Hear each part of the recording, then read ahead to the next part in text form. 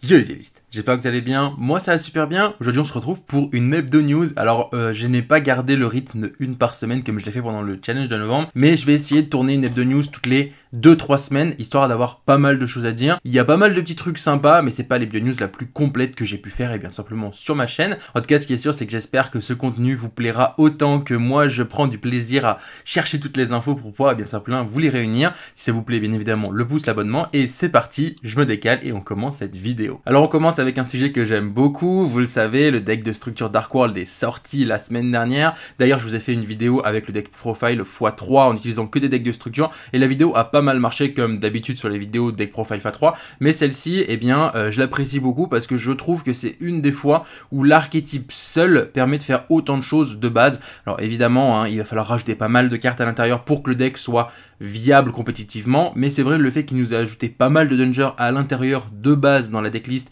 et euh, bah, le fait qu'on ait des bons staples comme Skill Drain par exemple, bah, c'est quand même plutôt une bonne chose. Ce qui pose problème et qui fait un peu débat en ce moment sur ce deck là, c'est le fait qu'il puisse éventuellement FTK à l'adversaire. Alors on considère FTK dans le sens où euh, avec euh, la niveau 5 tu peux enlever deux cartes de la main, tu peux le refaire jusqu'à deux fois par tour de l'adversaire, donc même pendant ton tour à toi, donc ça veut dire que tu enlèves 4 cartes et il y a même certaines listes qui vont jouer Lévianir pour enlever la cinquième carte et remettre encore une fois Sylvain en main pour que lorsque la fusion se fasse, si l'adversaire a deux cartes en main, et eh bien à nouveau lui enlever ces deux cartes là. Je comprends que ça puisse être frustrant. Maintenant, pour jouer le deck très clairement, et je l'ai joué ce week-end, il y a énormément de mains où soit t'as full danger, ils vont se défausser eux-mêmes et du coup il se passera rien sur ton terrain, soit t'as full Dark World, t'as pas moyen de les défausser, et du coup bah, tu fais juste rien en fait. Donc je pense que c'est quand même à prendre en compte. Je suis vraiment pas sûr que avec Fissure, Macrocosmos, Shifter, euh, toutes les entrappes du monde, les Beasted et compagnie, euh, le deck fasse grand chose dans la méta, sachant que bah, Shizu peut quand même pas mal contrôler le cimetière. Donc euh, on sait que Grapha est fort et pouvoir, se remonter. Si tu peux gérer le Grapha adverse, bah, globalement tu feras moins de choses. Enfin bref, j'ai l'impression que on en fait tout un pataquès pour pas grand chose, que le deck sera pas, à mon avis, ultra représenté dans la méta tant que ces cartes que je vais lister juste avant bah, sont présentes en fait, tout simplement. Maintenant, j'aimerais bien avoir votre avis. Qu'est-ce que vous en pensez vous? Moi, j'aime bien jouer le deck. J'ai pas l'impression qu'il est si problématique que ça. Maintenant, j'aimerais bien avoir vos avis continue cette vidéo avec encore une fois du deck de structure. Décidément, j'en parle beaucoup dans les Yugi News. C'est le deck et bien simplement Traptrix. Alors, on a déjà eu 8 supports annoncés. Donc là, c'est la huitième carte qui vient d'être annoncée et la carte, elle est vraiment pas mal. C'est une piège normale. Le deck de structure euh, Traptrix, pour rappel, il sort le 23 février 2022. Donc, il faudra attendre encore quelques mois pour pouvoir le jouer. Mais la piège est vraiment pas mal. Je vous la présente. Trap hors théâtre Traptrix. Invoquez spécialement cette carte en position de défense comme un monstre normal. Plante, terre, niveau 4, 400 d'attaque, 2400 de défense. Cette carte n'est pas traitée comme un piège. Vous pouvez bannir cette carte depuis votre cimetière, puis cibler un monstre Traptrix dans votre cimetière, invoquez-le spécialement. Vous pouvez activer cette carte le tour où elle a été posée en défaussant un piège normal. Alors vous l'aurez compris, la carte en elle-même fait un peu ce que faisait Brigandine, sauf qu'on ne doit pas défausser, et qu'en plus de ça au cimetière, elle permet de respect un Traptrix, donc ça rajoute euh, un peu de consistance au deck, et euh, je trouve ça vraiment très intéressant comme carte, sachant qu'elle n'est pas spécifiquement dépendante d'être jouée dans Traptrix, c'est-à-dire que Brigandine n'était une carte PK et n'était pas forcément jouée que dans PK, et ben là je pense que ça peut être la même chose dans des decks qui vont chercher à set des pièges. Alors c'est vrai que là on a le côté euh, euh, du cimetière, elle peut reborn un trap trick, c'est un fait, mais elle a un intérêt, en tout cas elle va remplacer Brigandine, c'est sûr, et, et, le tour d'après rajouter un petit peu de grind game et de, push à ce que pouvait, ce qui pouvait un petit peu manquer à, à Traptrix. D'ailleurs c'est pour ça que dans pas mal de listes Traptrix, on voit des Kashtira pour rajouter encore une fois cette petite pression et force d'attaque qui manquait un petit peu à Traptrix actuellement. On continue avec une news qui est toute fraîche et euh, j'avoue que avant de vous en parler, je préfère mettre un petit veto. Je suis pas certain que ça soit réel, mais j'ai vu passer plusieurs fois la photo et elle a l'air legit. On a les leaks des prochaines ultimates dans les prochains OTS. Visiblement, on aurait Unicorn Kashtira. Alors que moi le premier, j'étais surpris, je pensais voir Fenrir, mais à première vue, Unicorn est plus forte pour lancer le deck Kashtira en lui-même. Euh, on a également euh, Reno pour les Tar Alors c'est vrai que j'aurais largement préféré voir une autre carte que Reno that. Mais ça a du sens et ça à mon avis est une très bonne carte et sans surprise, vraiment ça j'aurais pu mettre ma main à couper, on aura également Elf en Ultimate, Elf pour Sprite, c'est une carte qui splash partout, qui est beaucoup trop forte en elle-même, donc naturellement c'était logique qu'elle ait son print en Ultimate. Parlons un petit peu de Master Duel maintenant, il y a eu un nouveau booster qui est sorti, un booster un peu promotionnel avec du support pour Albaz sur Master Duel. Alors j'avoue que je joue pas trop à Master Duel, donc je me rends pas trop compte de où est-ce qu'on en est actuellement sur bien simplement la méta, etc. Mais on sait que pour nous, c'était du support qui venait juste de sortir avant le CDF.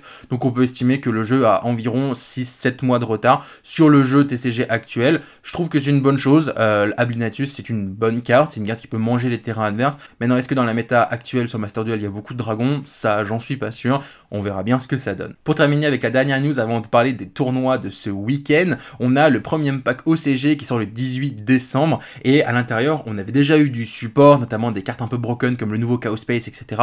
Et là, on a du support un peu plus 5DS, euh, un peu plus nostalgique, qui fait plaisir à la plupart des joueurs. On va avoir du support pour Bête Cristalline, on va avoir du support pour Hero, pour Elle Noire, et également pour Synchronique. Franchement, ça fait plaisir de voir des supports pour des aussi vieux decks, parce que, encore une fois, euh, Bête Cristalline, on, en a bouffé là sur les 6 derniers mois, mais ça reste un deck qui a 15 ans, tu vois, peut-être pas 15 ans, j'abuse, mais qui a quand même pas mal d'années, et le fait que le deck soit continué d'être supporté, euh, aussi bien pour Elle Noire, pour Synchronique, etc., vraiment tous ces decks-là, ça fait extrêmement plaisir de voir qu'ils reçoivent du support, et, et du support qui est quand même assez costaud. On a terminé pour la partie news, on va pouvoir parler des deux tournois du week-end. On avait deux WCQ en France, on en avait un à Montpellier et un à Nantes.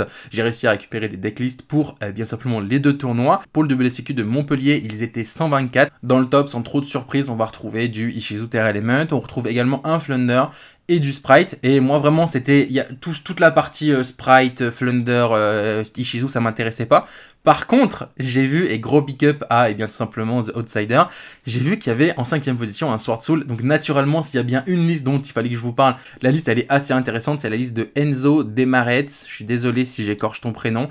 Et, euh, et, elle, apporte quelque chose d'un peu nouveau. On voit que c'est une liste qui joue sans Fibrax. Et c'est vrai que moi, j'avais un peu peur que le, fait que Fibrax disparaisse, ça enlève un petit peu de puissance à Sword Soul. Euh, et, on retrouve des cartes comme Shifter. Et en fait, ça a complètement du sens que Shifter soit dans cette, euh, dans cette decklist-là.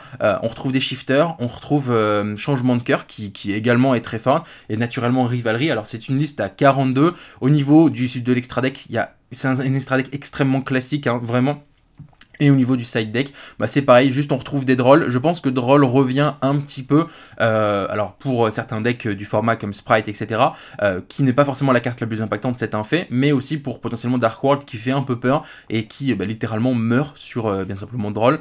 Donc, donc voilà, bah, écoute, félicitations à lui. Je trouve le fait que de jouer Sword Soul dans ce format-là, c'est vraiment très intéressant parce que ça prend pas les bisten, parce que, parce que ça tourne autour de beaucoup de choses, et le fait de pouvoir jouer Shifter, bah, naturellement, ça rend le deck plus fort. On continue bien simplement avec le WCQ de Nantes. Euh, C'était un WCQ où il y avait 116 joueurs. On a la répartition des joueurs. Au début des rounds, il y avait 26 Tirishizu, 16 Sprites, 16 Flunder.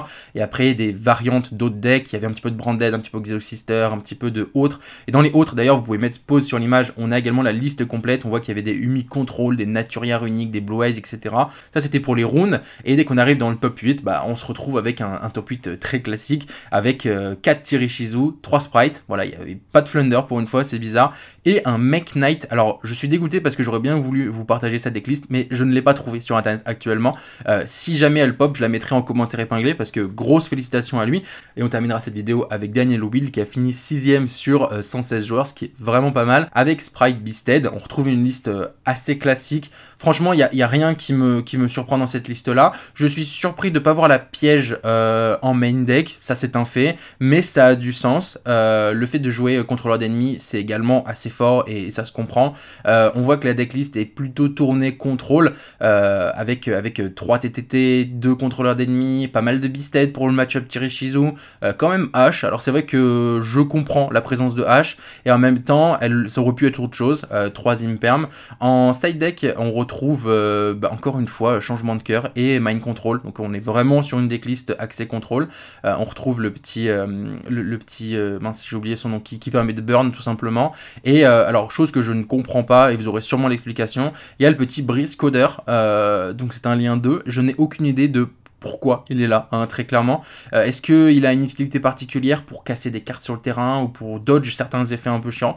N'hésitez pas à me le dire dans les commentaires. J'avoue que moi j'ai pas la réponse. Et, et voilà pour cette decklist là qui est somme tout classique, mais qui naturellement fait ses preuves. Et bien voilà, cette vidéo est maintenant terminée, j'espère qu'elle vous a plu, j'ai essayé d'être euh, le plus complet possible, de vous apporter toutes les petites infos de la sphère Yugi que j'ai pu voir passer dans la semaine. Bien évidemment, cette vidéo te plaît, le pouce, l'abonnement, et je vous dis à samedi pour une nouvelle vidéo Yu-Gi-Oh! Et pour ceux qui kiffent Urban Rival, eh bien on se retrouve dès demain pour une vidéo sur le jeu. Sur ce, prenez soin de vous, faites nombreux duels et collection de cartes, et à bientôt les potes. Allez, ciao